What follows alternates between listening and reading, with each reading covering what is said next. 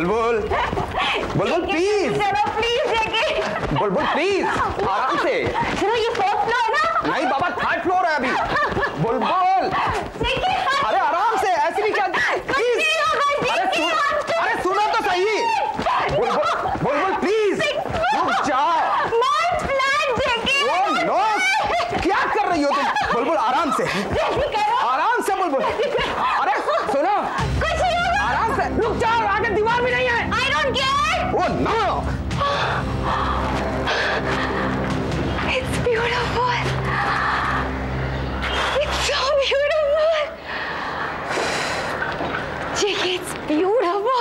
Darling लेकिन ये flat तुम्हारा नहीं है। ये फ्लैट मेरा नहीं है? जी नहीं। तुमने कहा सिक्स सिक्स फ्लोर का फ्लैट मेरा है। सिक्स फ्लोर पे और भी तो फ्लैट है। आओ इधर आओ।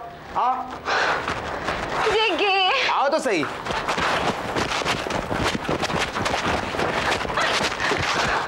आओ।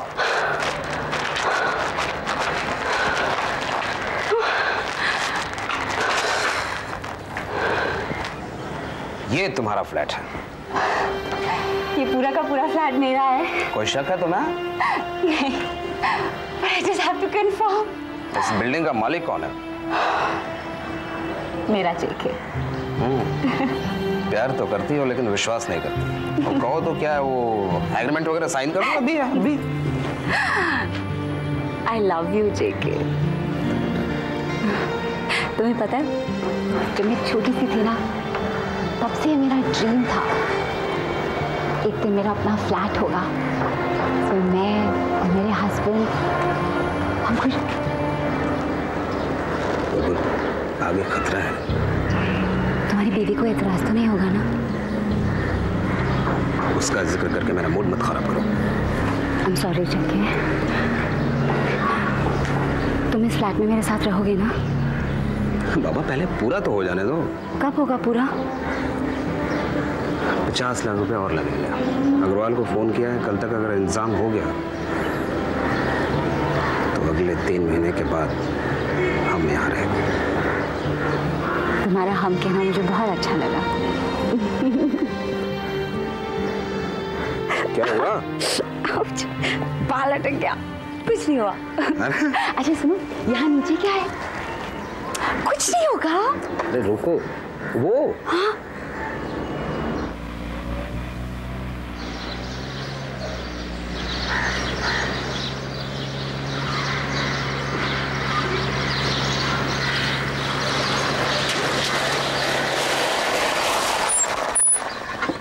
चौकीदार?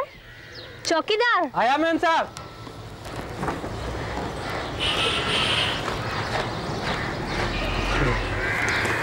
साहब कहाँ है? वो छठे माले पे। अकेले हैं? नहीं। कौन साथ है? वो कॉन्ट्रैक्टर है। लो ये मिठाई का डब्बा साहब को दे देना। जी। ये लिफाफा लो इसमें चिट्ठी है। याद से साहब के हाथ में देना। जी जी। ये लो। ये तुम्हारे लिए। याद है ना चिट्ठी किसको देनी है? हाँ जी साहब को दे दो चलो ड्राइवर।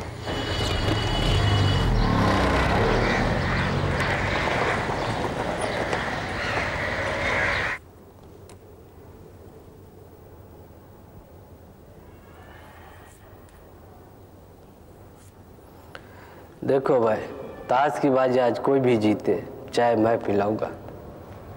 हाँ भाई, तेरे पास तो आजकल बहुत पैसे आने लगे हैं। चक्कर ही ऐसा है। पचास रुपये बात छुपाने के लिए देते हैं साहब, और पचास रुपये मैम साहब बात बताने के लिए देती है। साहब ने कुछ ज़्यादा ही सर चढ़ा रखा है तुम्हें। जिस दिन उन्हें पता चल गया कि तू बिल्डिंग की ड्यूटी छोड़ के रात को यहाँ ताश खेलने आता है उस दिन तेरा सारा हिसाब किताब ठीक हो जाएगा। कुछ नहीं होगा यार। जब तक बिल्डिंग पूरी नहीं हो जाती रात को वहाँ कुत्ते भी नहीं भौंकते। अपने साहब तो अपने ही घर नहीं जाते हैं। वहाँ क्या करने जाएँगे? मैम साहब से मिलने तो कभी कभार चले भी जाते हैं। रात को बिल्डिंग पे कभी नहीं आते हैं। अरे तो फिर यही अच्छा मौका है यार। इसी बहाने हम अपनी खोली ठीक कर लेते हैं। गणपति के दिनों में अपनी छत बहुत टपकती है। सुन राम प्रसाद तेरी बिल्डिंग के छत पे तो काफ़ी सीमेंट वीमेंट पड़ा हुआ है। किसी ने देख लिया तो? अरे बिहार में दो खून करके आए किसी को मालूम पड़ा है? इधर आ। सारा काम हम रात को करेंगे। किसी को पता नहीं चलेगा। बारह बजे के बाद बेसमेंट में कोई गाड़ी आती भी नहीं है। हाँ ग्यारह बजे ऑफ़िस की बत्ती भी गोल हो जाती है और तेरे यहाँ तो कुत्ता भी नहीं भौंकता तुमने कहा था ना अभी? बदरपुर और ईंटें तो नीचे पड़ी है। सीमेंट तो छठी मंजिल से उतारनी पड़ेगी ना। ग्यारह से एक के बीच में बदरपुर मैं साफ़ कर लूँगा। हाँ रात एक से चार के बीच में ईंटें मैं उठा लूँगा। और सुन चार से पाँच के बीच में सीमेंट तुम साफ़ कर दियो चार और पाँच के बीच लोग उठ जाते हैं। और छठी मंजिल से सीमेंट उतारते हुए देख लेगा तो? अरे छठे महले से गिरने के बाद कोई ज़िंदा बचा है क्या? मुझे मंजूर है। मुझे भी और मुझे भी। तो असली बाजी कल रात को होगी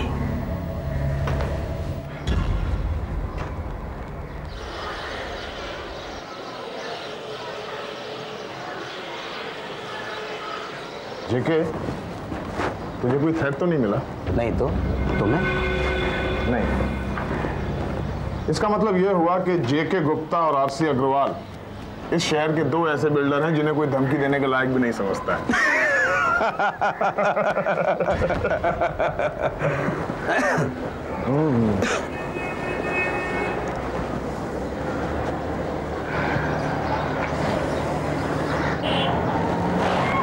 जगह तो एकदम प्राइम चुनी है तूने। बहुत बढ़िया जगह है। थैंक यू यहाँ होटल बनाता तो ज़्यादा फ़ायदा होता। एनीवे योर चॉइस होटल बनाने के लिए पैसे कहाँ थे यार? मुझसे ले लेता। इसी बात के लिए तो मैंने तुम्हें यहाँ बुलाया। है इस बिल्डिंग को बनाने में पचास लाख रुपए और लगेंगे। अगर तुम दे दो तो सूद समेत वापस कर दूँगा।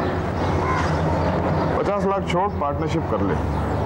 मैं अभी भी तैयार हूँ। तुम्हारे साथ पार्टनरशिप करके मरना है क्या? चौधरी ने की थी तुम्हारे साथ पार्टनरशिप चट्टे मले से गिर के मर गया। था देखो चौधरी को मारने में मेरा कोई भी हाथ नहीं था गुप्ता भाई तुम्हारे साथ पार्टनरशिप करने के बाद तीन महीने के बाद ही वो साफ़ हो गया। मुझे किसी को अपने रास्ते से हटाने के लिए छठे माले से धक्का देने की ज़रूरत नहीं है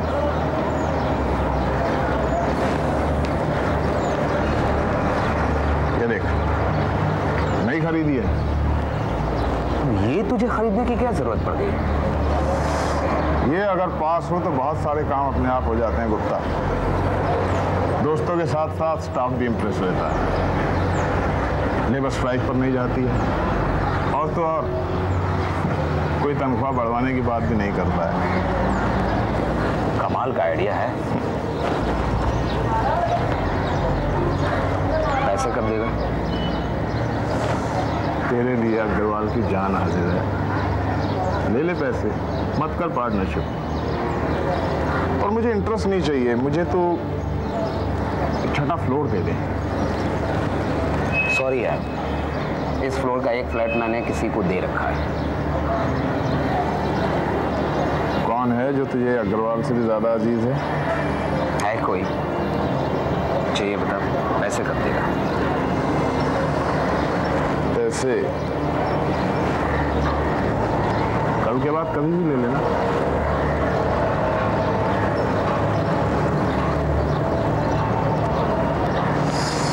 तूने एक बात नोट की है गुप्ता?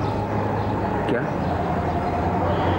हम बिल्डर लोगों की ज़िंदगी में ये जो अधूरी बिल्डिंगें होती हैं ना शाम के धुंधलके के बाद बहुत खतरनाक हो जाती हैं।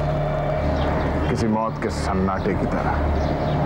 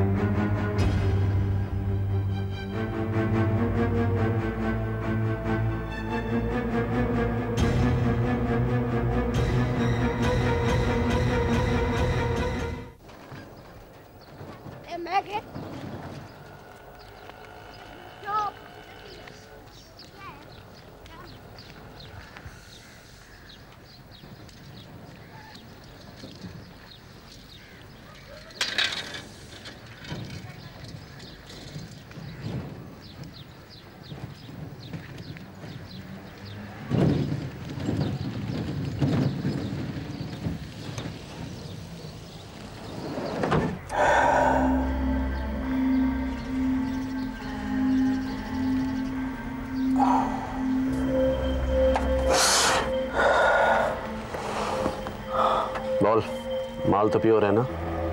माल का असर तो होने दे। अपन कैसे बताएगा उससे पहले? देख अपन हमेशा प्योर माल बेचता है। नो मिक्सिंग अपन को भी प्योर माल लगता है। मिक्सिंग नहीं चलता है। ये जब से तूने साहब का नौकरी छोड़ा ना तब से कोई भी काम ढंग का नहीं किया। अब वो अपनी बहन मारता को देख वो बेचारी कुछ ना कुछ करती रहती है। तेरे को तो मारता की लगी रहती है। मैं भी काम करता हूँ। तो कोई ढंग का काम करना ढंग का काम से मतलब? मतलब जिसमें पैसा हो।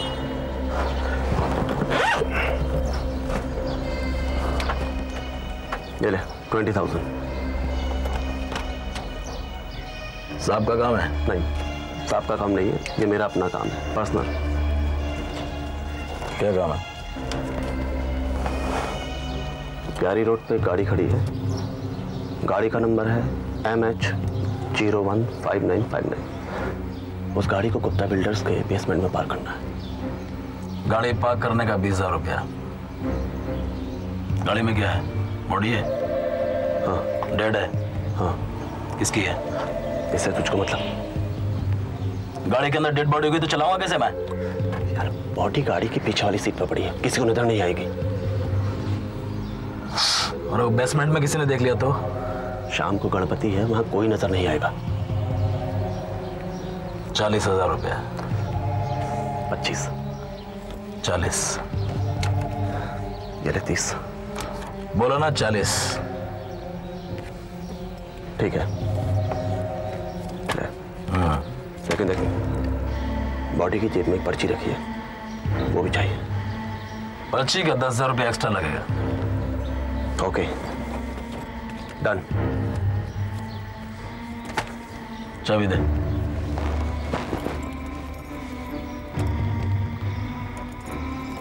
और देख, शाम को तो मुझे यही मिलना। गाड़ी तभी ले जाना जब गणपति की झांकियाँ निकले। और ये पैसा जरा संभाल के रखना। नशे में कहीं इधर उधर फेंक मत देना। चल निकल। ठीक है? शाम को मिलते हैं।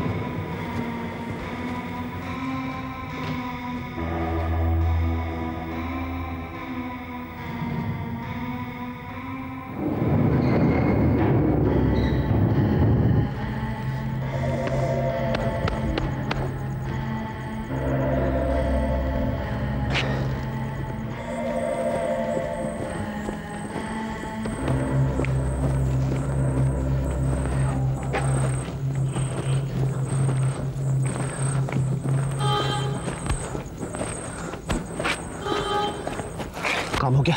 हाँ हो गया। किसी ने देखा तो नहीं? किसी नहीं देखा। पर्ची कहाँ? कौन सी पर्ची? चुप बॉडी की जिस तो निकालनी थी तुझे। दस हज़ार अलग से दिए थे ना उसके। दस हज़ार दिए थे ना? वापस ले जाना वापस ले जाना भूल गया मैं।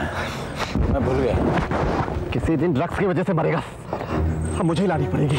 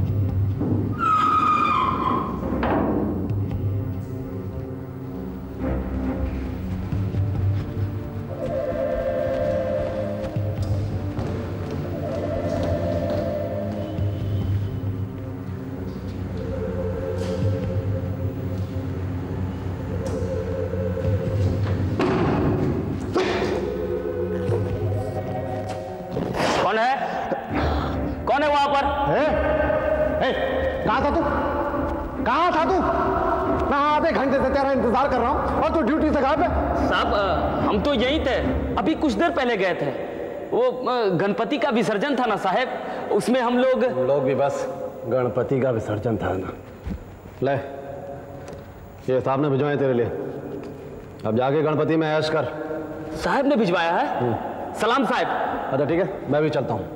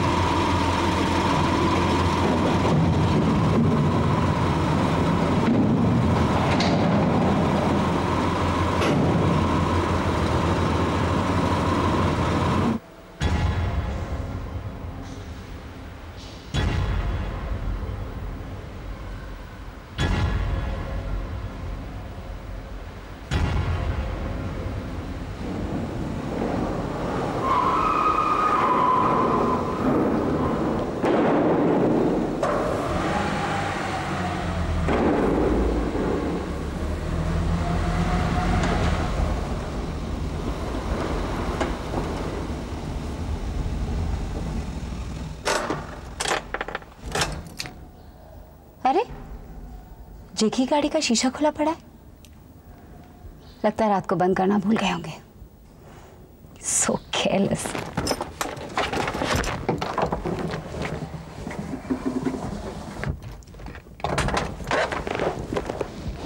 सो केयरलेस चौकीदारों को तो तनख्वाह मुफ़्त में दी जाती है। कहीं कुछ चोरी होगी तो ब्लेम किस पर आएगा? बुलबुल पे बुलबुल यू नेवर रिमाइंडेड मी चाबी भी छोड़ दी of course JK just too much very good पीछे का दरवाज़ा भी क्यों बंद करेंगे?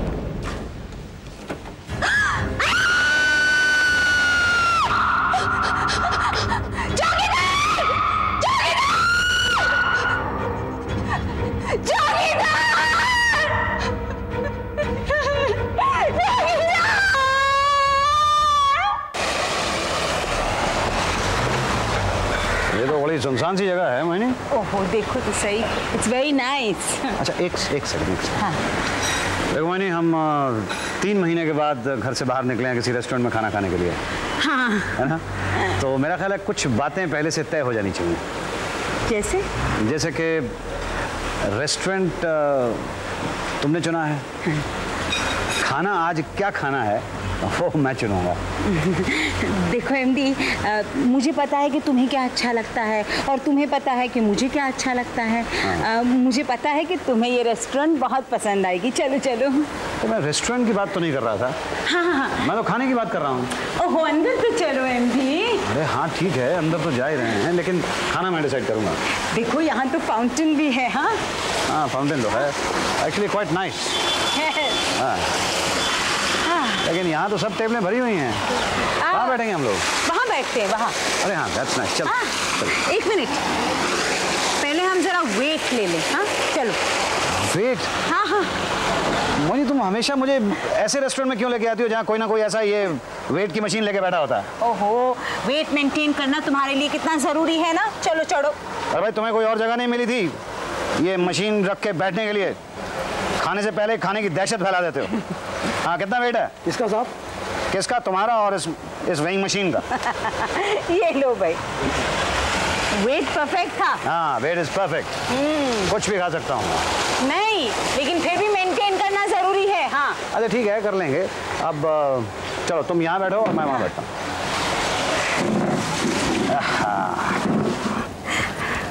एक बात तो है मनी। जगह तुमने वैसे काफ़ी अच्छी चुनी है। थैंक यू मगर मुझे नहीं लगता कि यहाँ पे गोभी के पराठे मिलेंगे। नहीं मैं गोभी के पराठे नहीं खाना चाहती एमडी आज मैं वेजिटेबल पिज़्ज़ा खाऊँगी। वैसे मैं अपने बारे में बात कर रहा था। मैं गोभी के पराठे के साथ एक गिलास मीठी लस्सी का पीना चाहूँगा। पर मीठी लस्सी तो तुम्हारे लिए ठीक नहीं है। कोई बात नहीं मैं पी लूँगी। अरे तो मैं गोभी के पराठे के साथ क्या लूँगा भाई? आप मुझे बताइए सर क्या लेंगे आप? लीजिए भाई इन्हें बताना पड़ेगा कि क्या लेंगे हम। मेरे लिए एक वेजिटेबल पिज़्ज़ा ले आइएगा और एक ग्लास दही की मीठी लस्सी। और साहब के लिए? भाई तुम्हारे किचन में गोभी है? जी साहब। वेरी गुड हाँ बॉयल गोभी का सूप और ग्रीन सैलेड ठीक है? बॉयल गोभी का सूप मिलेगा साहब? मिलेगा। अरे भाई गोभी का पराठा नहीं मिलेगा? वो भी मिलेगा साहब। तो ऐसा करो कि तुम गोभी का एक पराठा ले आओ इनके लिए मेरी बीवी के लिए। जी। हाँ? और साथ में दो पिज्जे ले आना। ठीक है। एक मैं खा लूँगा और एक मेरी बीवी खा लेंगे। और गोभी का पराठा सर? गोभी का पराठा वो जो मेरी बीवी के लिए तुम लाओगे ना उसमें से मैं थोड़ा सा ले लूँगा। ठीक है ठीक है? क्योंकि वैसे अलाउड नहीं होगा। तुम मिले हो इनसे?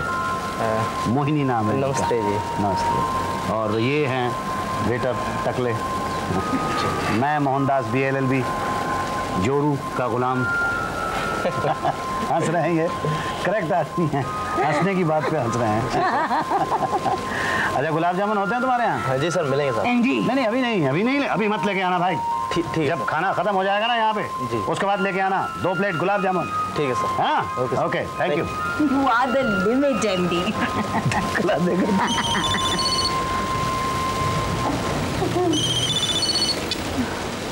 हाँ कुमार साहब गुप्ता बिल्डर्स के ऑफ़िस के बेसमेंट में एक मर्डर हो गया। है गुप्ता बिल्डर्स के ऑफ़िस के बेसमेंट में मर्डर ठीक है पहुँच रहा हूँ मैं फ़ौरन। ऑर्डर कैंसिल कर देते हैं हाँ? Yes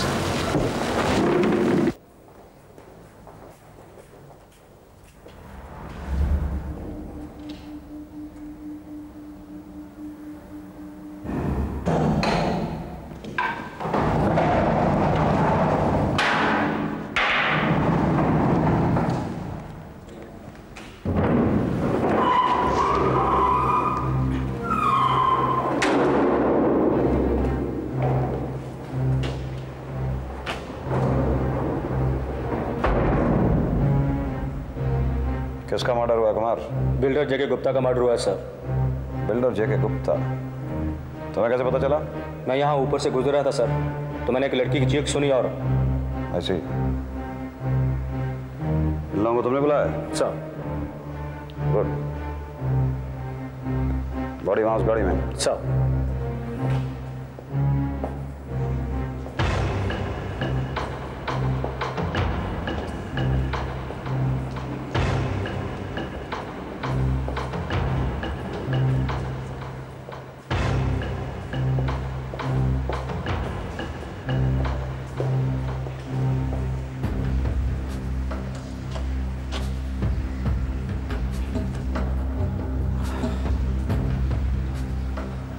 Bad. SS?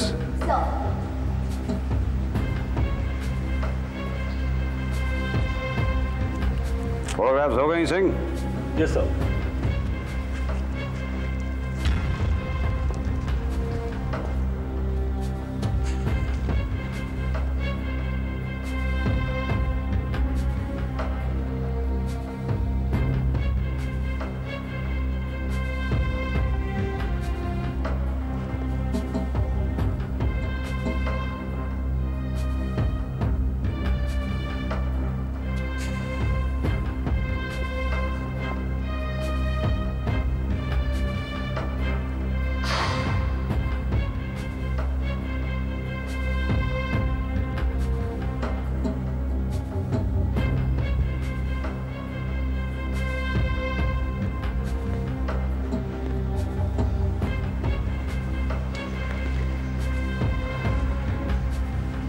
Singh Rathore body को बाहर निकालो।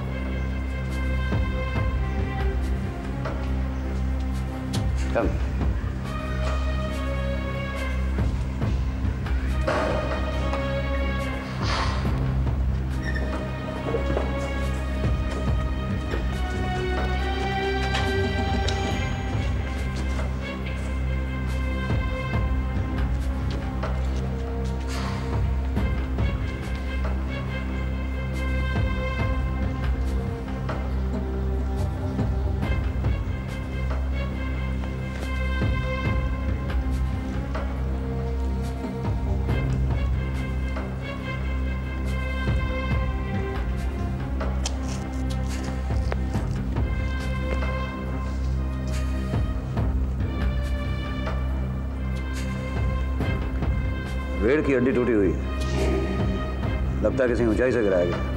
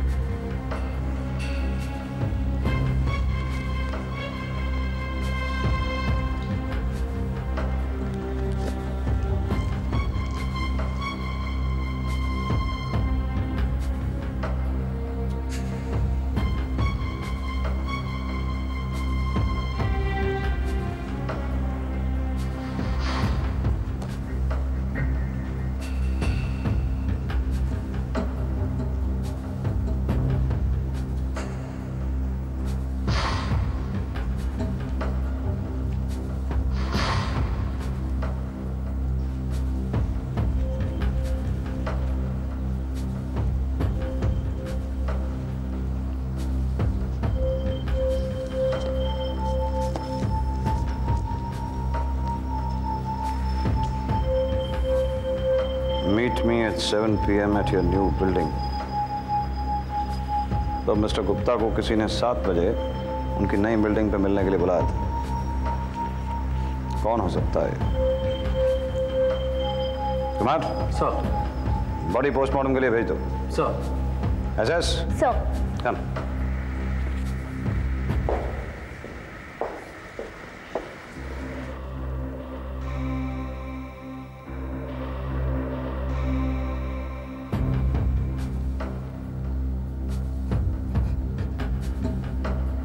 ड्रग्स कुमार।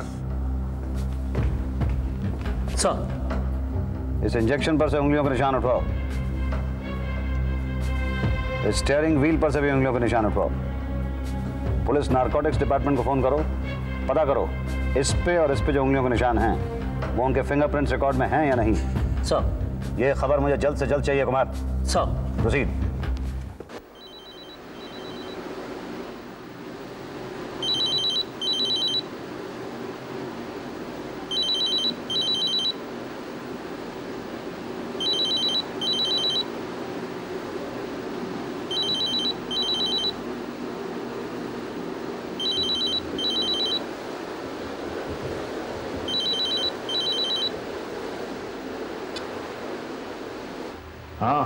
हाँ साहब है श्रीनिवास। हाँ श्रीनिवास क्या बात है? सुबह से छह मैसेज छोड़ चुका है मेरे मोबाइल पे। कोई प्रॉब्लम है क्या? नहीं सर प्रॉब्लम तो कोई नहीं है। काम पूरा हो गया है। तो ये बात तो कल मुझे ऑफ़िस में ही बता सकता था। हेल्प क्लब के टाइम पे डिस्टर्ब करना ज़रूरी था क्या? सारा मज़ा खराब कर दिया स्टीम बात का। सर काम तो पूरा हो गया लेकिन अब पूरा नहीं हो पाया सर। पूरा नहीं हो पाया? मतलब? सर वो पर्ची वहीं रह गई सर।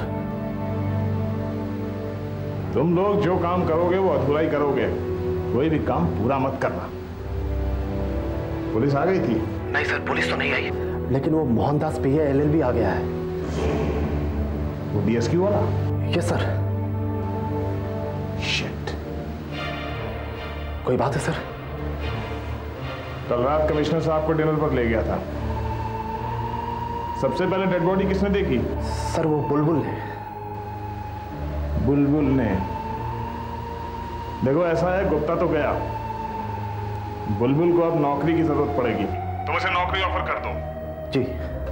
और न माने तो मेरे साथ एक मीटिंग फिक्स करा दो। Okay sir.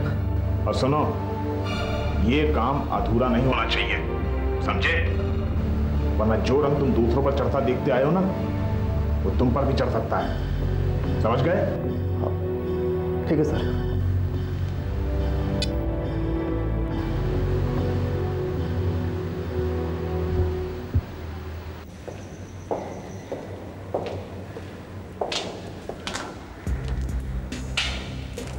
आपका नाम? बुलबुल बुलबुल सबसे पहले मिस्टर गुप्ता की डेड बॉडी आपने देखी थी? जी। आप यहाँ इस बेसमेंट में क्या कर रही थी मैं यहाँ काम करती हूँ मिस्टर गुप्ता के ऑफ़िस में। ऐसी क्या काम करती हैं स्टेनो का काम। स्टेनो? ये गाड़ी आपकी है? जी नहीं ऑफ़िस की तरफ़ से मिली है। मिस्टर गुप्ता ने दी आपको? जी।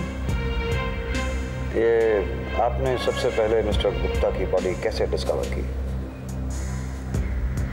जी मैं यहाँ अपनी गाड़ी पार्क करने आई थी।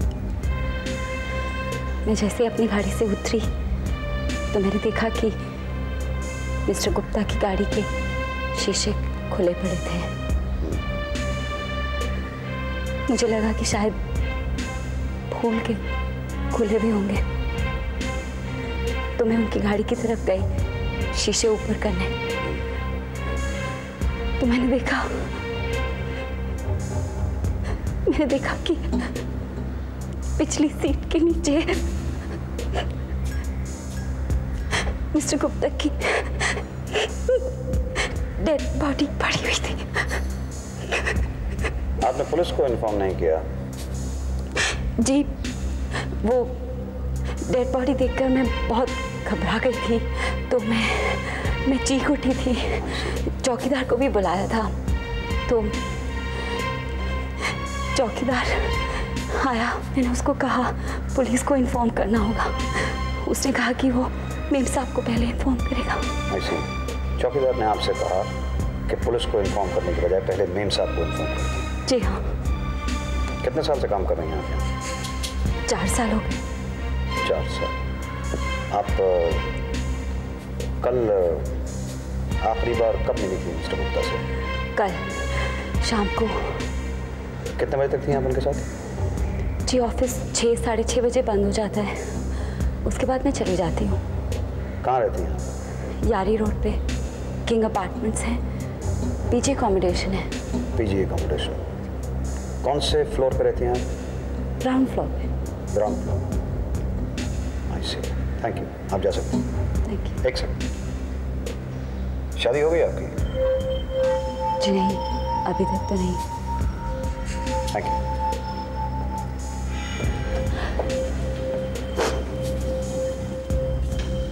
आप मिसेस गुप्ता हैं। जी हाँ। मुझे आपके हस्बैंड की मौत का बेहद अफसोस है। आपको उनकी डेथ के बारे में कैसे पता चला? मुझे चौकीदार ने फ़ोन किया था।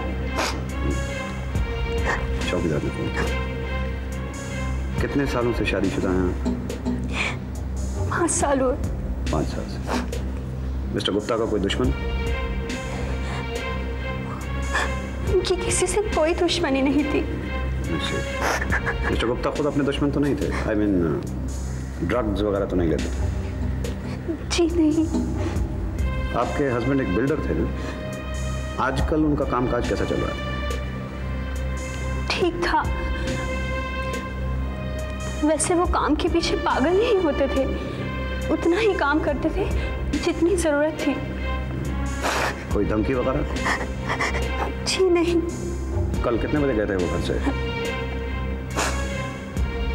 परसों रात वो घर नहीं आए थे। परसों रात घर नहीं आए थे तो कहाँ गए थे? पता नहीं। पर पर वो घर हफ़्ते में एक आध बार ही आते थे। ओह घर हफ़्ते में एक रात बार आते थे? ऐसा कितने दिनों से चल रहा है? कई दिन से। इस पर्टिकुलर बार आपने आखिरी बार उनको कब देखा था? पिछले हफ़्ते। पिछले हफ़्ते मतलब आप अपने पति से एक हफ़्ता पहले मिली थी? जी। आपको पक्का यकीन है कि आप अपने पति से एक हफ़्ता पहले मिली थी? जी। स्ट्रेंज एक आदमी जो अपने काम में बहुत ज़्यादा मसरूफ नहीं रहता है वो एक हफ़्ता घर पर नहीं आता। तो ये बात बीवी को तो काफ़ी डिस्टर्ब करती होगी ना। जी। जी।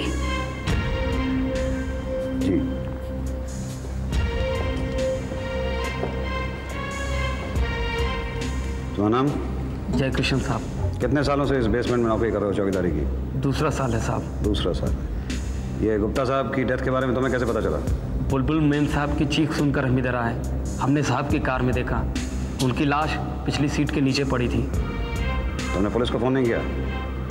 बुलबुल मेम साहब ने कहा था कि मेम साहब को फ़ोन करो। बुलबुल मेम साहब ने तुमसे कहा कि पुलिस की बजाय मेम साहब को फ़ोन करो। हम्म। ये मिस्टर गुप्ता की गाड़ी यहाँ से कब से पार्क है? रात से। रात से। तो कल कितने बजे पार्क हुई थी ये? पता नहीं। पता नहीं मतलब? तुम इस बेसमेंट के चौकीदार हो दो साल से यहाँ काम कर रहे हो तो मैं ये नहीं मालूम है कि ये गाड़ी कब पार्क हुई थी? हम गणपति विसर्जन पर गए थे साहब। गणपति विसर्जन पर गए थे। कितने बजे गए थे तुम? आठ बजे।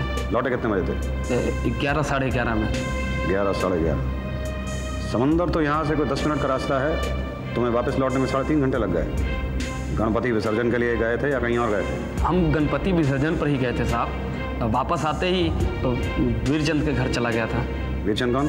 साहब के ऑफ़िस का चौकीदार है। हमारे गाँव का है। उसी के घर खाना था। खाना था या पीना भी था? खाना पीना दोनों था साहब। खाना पीना दो। हाँ कुमार होल्ड करो।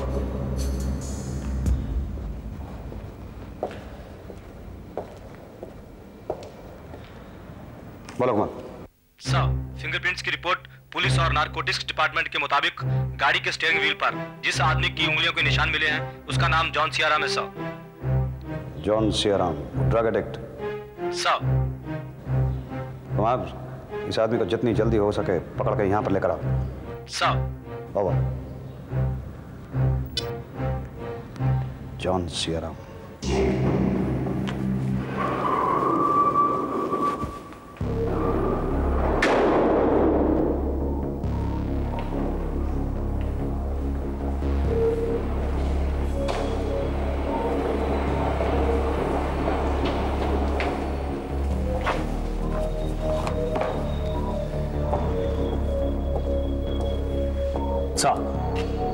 जॉन जब हम इसके घर में घुसे इसको पकड़ने के लिए तो ये हमें देखते भाग निकला। बड़ी मुश्किल से आता है इसके घर से हमें ये पचास हज़ार रुपए मिले हैं सर। जी। और कौन कौन है इसके घर पे कुमार? इसकी बहन है सर। नाम क्या है उसका? मार्था। मार्था। जब इसने भागने की कोशिश की तो इसकी बहन ने इसकी मदद तो नहीं की? नो साहब गुड जॉन सियाराम आदमी ज़िंदगी से तो भाग सकता है लेकिन मौत से नहीं भाग सकता। हम्म? वो गाड़ी जो सामने खड़ी है उसको पहचानते हो? पहचानता हूँ साहब।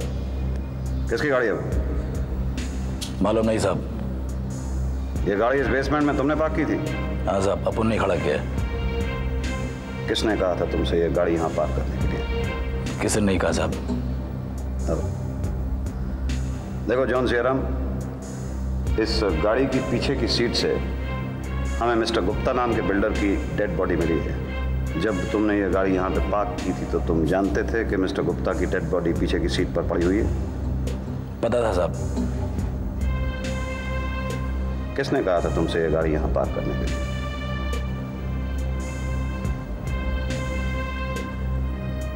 तुम जानते हो मिस्टर गुप्ता का कत्ल किसने किया?